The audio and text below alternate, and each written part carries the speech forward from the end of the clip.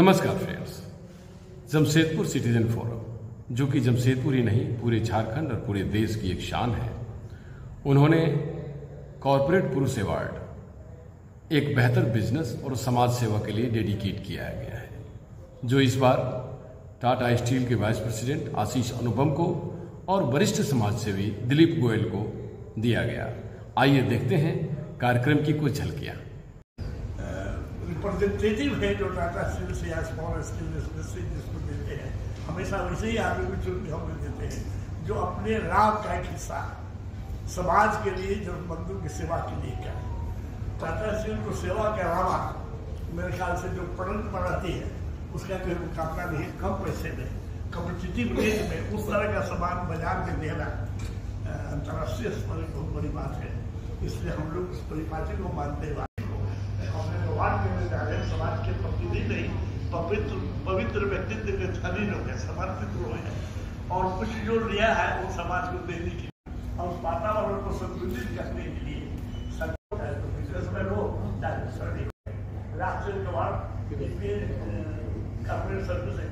So I think I have got a long way to learn. And uh, हम जब इस programme के बारे में सोच रहे थे तब ना मेरे और मुझे नहीं लगता कि किसी भी मेंबर के दिमाग में ये बात आई होगी कि एकादशी होने वाली है एथिक्स का टाटा स्टील का मंथ चलने वाला है all that thing so it's it's a very beautiful way of presenting thank you very much sir I I certainly will try and improve और you know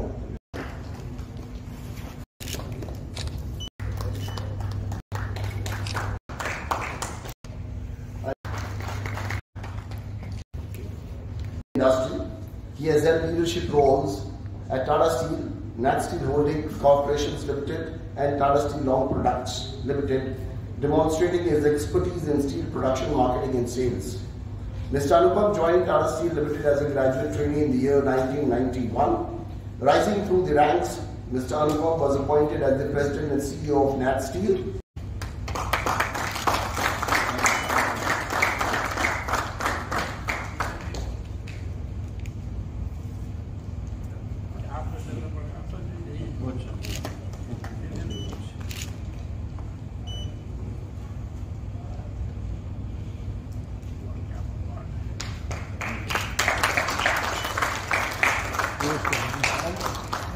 जोरदार ताली बजे भाई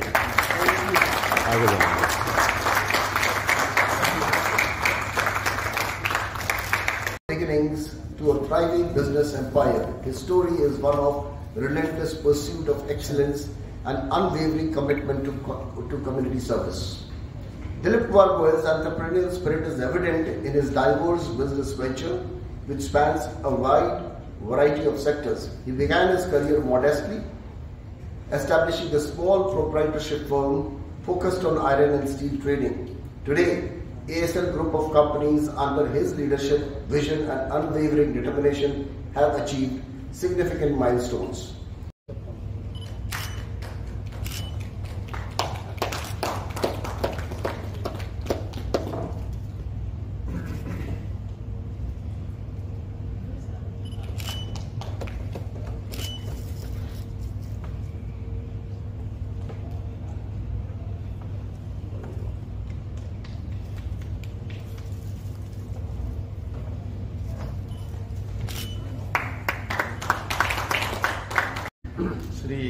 श्रीवास्तव जी का बहुत आभारी मैं इस भाव से सम्मानित महसूस कर रहा हूँ और ऐसे कार्य हमेशा एक व्यक्ति को अपनी ज़िम्मेदारी के साथ करने चाहिए।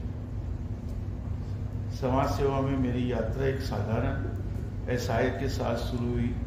ये करीब 2008 की बात, सात आठ की बात होगी जब मैं एकल विद्यालय फ्रेंड्स ऑफ़ ट्रेवल सोसाइटी से जुड़ा उसके बाद से फिर सब चीज़ में इन्वॉल्व होते गया और आज एकल विद्यालय में भी राजस्थान सेवा सदन हॉस्पिटल हम लोग की गौशाला है बुक्स लाइन में सभी देख।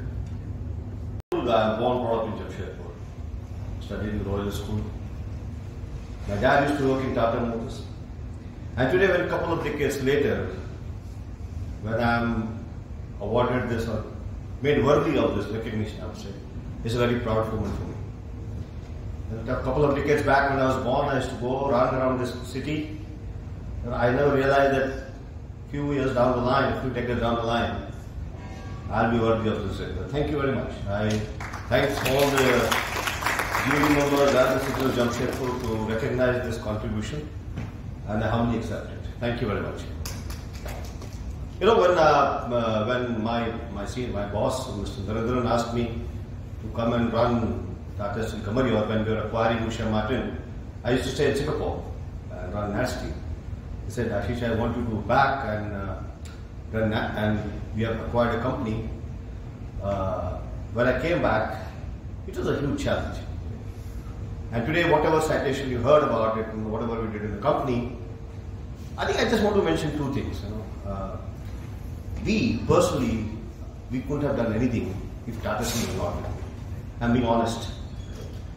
When the huge force of Tata Steel is with you, right, you can do wonders. This is how you take it forward. So I humbly accept that uh, the support of uh, everybody in Tata Steel was phenomenal in whatever we could do in Gamare. Today we say we become profitable, we have, we have become debt free, we have gone ahead, did some investments and all that. It's only because at the back of the mind you have Tata Steel.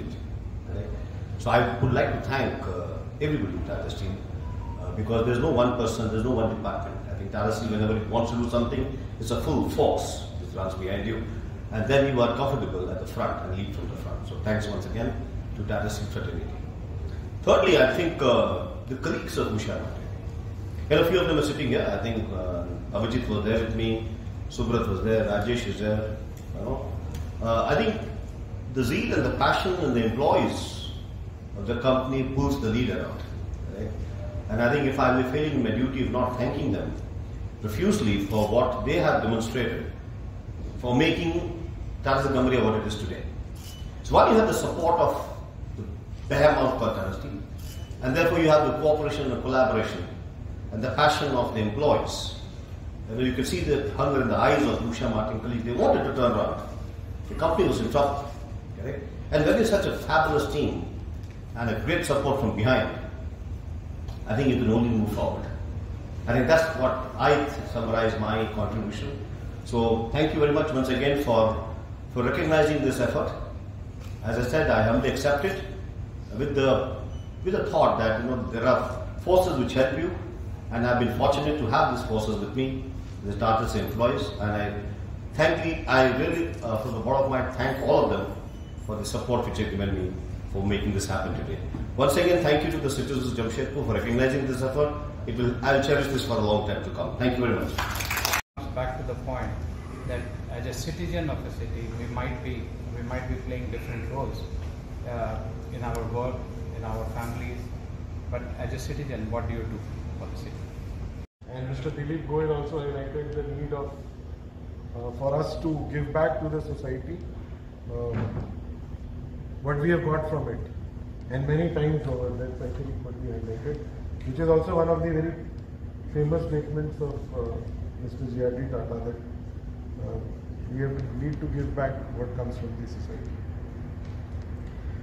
So what has happened over the last uh, 15 or 20 years is uh, from a single location company, actually we have become multi-location. Before we became multi-location in India, uh, we expanded abroad. So that was an anomaly to say something before. But we actually became global before we became sort of multi-locational in India. And as you sort of expand, for any business to expand, whether it's a small scale becoming a medium scale, a medium scale becoming a big scale company, or a big scale company becoming a multinational, it poses its uh, own challenges. It poses its challenges how to keep the core together, how to maintain your value systems across different locations. And if you look at the vision statement of Tata Steel today, which was formulated maybe around 15 years before, so it deals with being benchmarks, being benchmark in the steel industry and in corporate citizenship. So these KPIs are a little difficult to decide. Uh, for anybody to ascertain what would benchmark mean. What would benchmark mean in being the best in the steel industry? Maintaining its roles, I can see the two leadership uh, positions.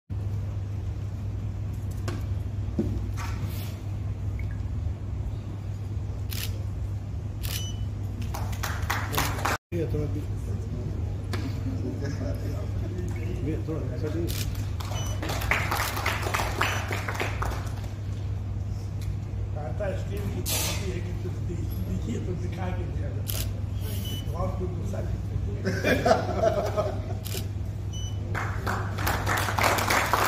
पुत्र ने गाय ग्यारह अप्रैल को आनंद शर्मा का एक सौ percent हमारे गुरु हिंदी और बहत्तर से इनको जाते हैं। और वो जो आनंद शर्मा साहब नहीं है। तो किसको रिक्वेस्ट करेंगे सबको याद आ गया। रंजन साहब नहीं याद करते हो। आनंद शर्मा माइंस के पितामह है। और शायद मुझे याद है कि अभी माइंस से कैरियर स्टार्ट किए। तब बोले कि सबसे बढ़िया आदमी जो आनंद शर्मा नहीं है, और जो रहा हो, माइंस में विज्ञान में, पेड़ में, पौधा में, जो विश्वास करता हो, देखा हो, उससे आशीर्वचन लेना चाहिए। और मैं तो जानता हूँ देखो लिखता हूँ। अभी मैं ज़रूर आप लोगों से जो बैठे रिक्वेस्ट करूँगा उतना बड़ा लेख कोई छाप नहीं सकता है। लेकिन हमारा आदित्यपुर क्रिशन है आर एस पांडे साहब का। और दो हमारा सीरीज़ निकल रहा है, दो सीरीज़ और निकलेगा। हिंदी में लिखता हिंदी बोलता हूँ मातृभाषा है। जो आदमी जितने हमारे पास है, सबको भेजेंगे काट के तब आपको पता चला है। किस परिश्रम के साथ टाटा स्टील ने आदित्यपुर को डेवलप किया था? किस परिश्रम के साथ वहाँ के लोग, हम भी उस कानून में रहते हैं, जब फिर पानी हम लोग ट्रक से ले जाते थे। बिजली था नहीं छह महीना। तो उस परिस्थिति में उसको देख आए हैं और गवरिया का तो अपने गम को हर लिया गवरिया बोलते गम को हरेंगे तो आप जो बंद कर खाना था, उसको चालू कर दिया, बहुत बढ़िया। Sir, Jamshedpur citizen forum, corporate Purush award. एक बेहतर शुरुआत है उन सब इंटरप्रेन्योर्स के लिए और बिज़नेस होल्डर्स के लिए।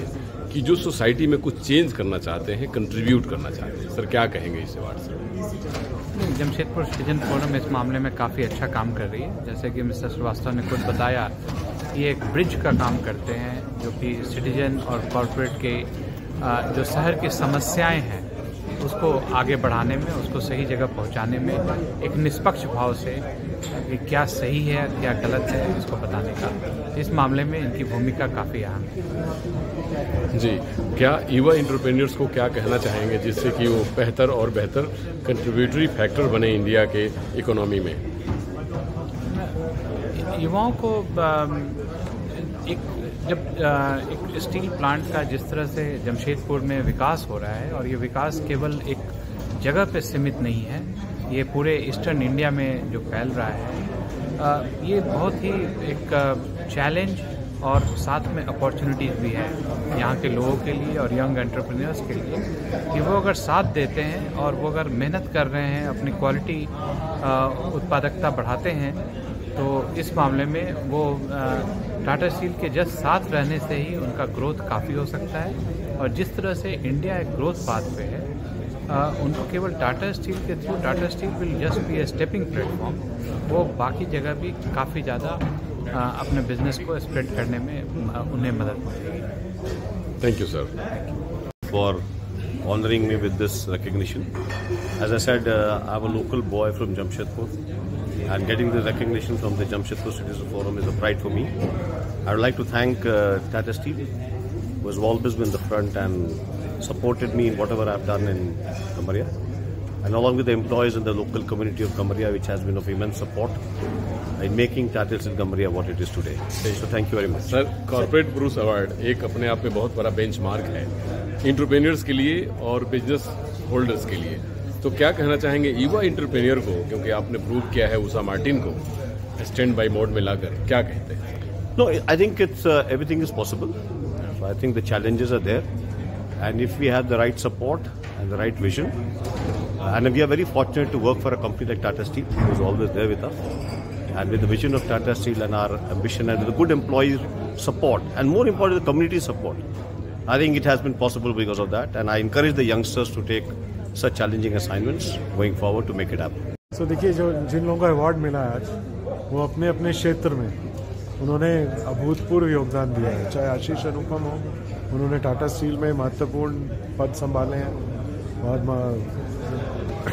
इंपॉर्टेंट रिजल्ट्स डिलीवर किए हैं, चाहे वो घमरिया हो, चाहे आज जो लॉन्ग प्रोडक्ट्स है। उसी तरह मिस्टर दिलीप गोयल एक बहुत ही प्रोमिनेंट सिटीज़न है प्रोमिनेंट इंडस्ट्रियलिस्ट हैं। उन्होंने अपना समाज सेवा के क्षेत्र में भी एक अभूतपूर्व योगदान दिया है। ये सब देखते हुए they both are inspiration for younger people today they may be only from the corporate sector but they are actually inspirations for all of us here in Jamshedpur. How to how to sort of be humble, how to be uh, important to the society and contribute to the society. Sir आप ये पूरे कुल्हान ही नहीं पूरे झारखंड के एक legend personality हैं और corporate पुरुष अवार्ड जो कि जमशेदपुर सिटीजन फोरम आपके तहत काम करती है उसके द्वारा साल दर साल दिया जाता है जिससे इंटरप्रेन्योर्स में या फिर उस कॉरपोरेट सेक्टर में काम करने वाले लोग बहुत ही मोटिवेटेड होते हैं, बहुत ही ज़्यादा जागरूक होते हैं। तो इस अवार्ड का उद्देश्य क्या है और इस अवार्ड से संबंधित युवा इंटरप्रेन्योर्स को क्या कहना चाहेंगे आप? देखिए, युवा आजकल मेरे ख्याल से कुछ भटका हुआ। क्यों? कि भारतवर्ष में जितनी तरक्की हो रही है, युवा चाहता है खुद को नौकरी मिले और सब कोई चाहता है कि नौकरी सरकारी नौकरी मिले। सरकार में नौकरी मिलेगी नहीं।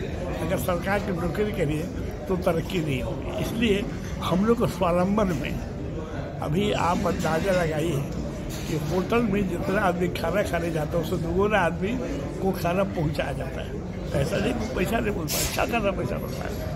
आदमी को जो काम अच्छी तरीके से करे सर्विस सेक्टर में बहुत डिमांड है, बहुत जा सकते हैं। पारा शिक्षक में है, पारा मेडिकल सर्विसेज़ में है बहुत क्या है कि हम लोग को बढ़िया से इसका प्रशिक्षण करके युवा आदमी को जोरदार रूप से आगे बढ़ाना पड़ेगा। अप्रेंटिसशिप की योजना हो, काम करने की योजना हो जब जो नहीं हो, अपने खाने के बढ़ जाएगा तो ये आज के समय में युवा शक्ति को आगे अगर हम करेंगे, तभी हम तरक्की कर सकते हैं। गोरा आदमी कोई नहीं कर सकता उनके स्पीड फोर्स है गाइड कर सकता है, आशीर्वचन दे सकता है।